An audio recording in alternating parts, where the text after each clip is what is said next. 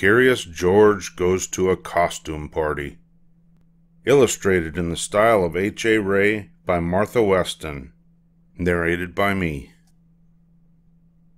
This is George. He was a good little monkey and always very curious. One day, George and his friend, the man with the yellow hat, were on their way to a party at Mrs. Gray's house. George could not wait. He liked parties, and he was looking forward to seeing Mrs. Gray. But when the door opened, George did not see Mrs. Gray at all. He saw a witch. Don't be afraid, George, said the man with the yellow hat. This witch is our friend. The witch took off her mask. It was Mrs. Gray after all. Oh dear, she said. Did I forget to tell you this is a costume party? George had never been to a costume party before. Inside, he saw more people than he knew.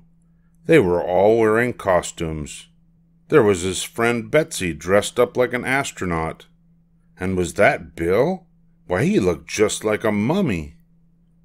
George wanted to wear a costume, too. I have some dress up clothes upstairs, said Mrs. Gray. Would you like to use them and make a costume, George?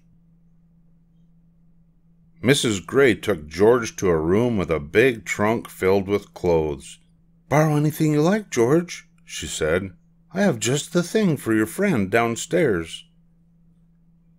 George tried on lots of costumes. The first was too big. The next was too small.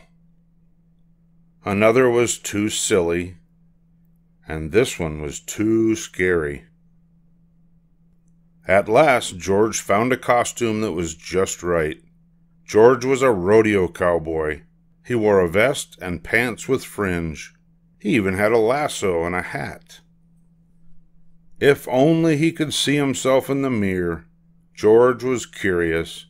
Could he see himself if he stood on the bed? No, he needed to jump higher.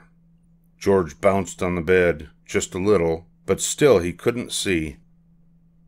He bounced a little more, and a little more.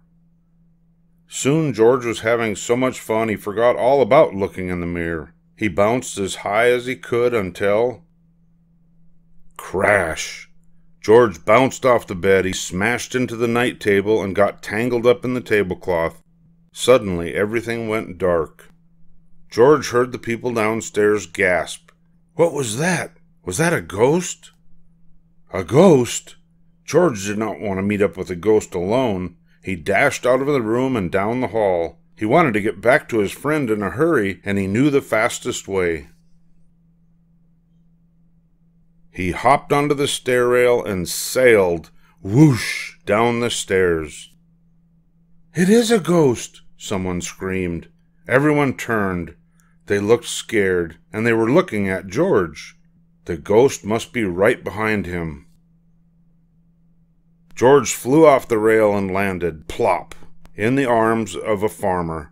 But this wasn't really a farmer, it was his friend, the man with the yellow hat. Soon everyone stopped looking scared and started to laugh.